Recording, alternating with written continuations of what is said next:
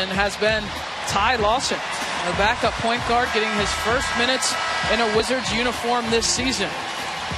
His ability to get into the paint, to create easy opportunities, and you see him looking ahead in transition to give KO that easy dunk. Uh, he has been a bright spot. And you look at Washington and this deficit that they have on the offensive end of the floor, if they can continue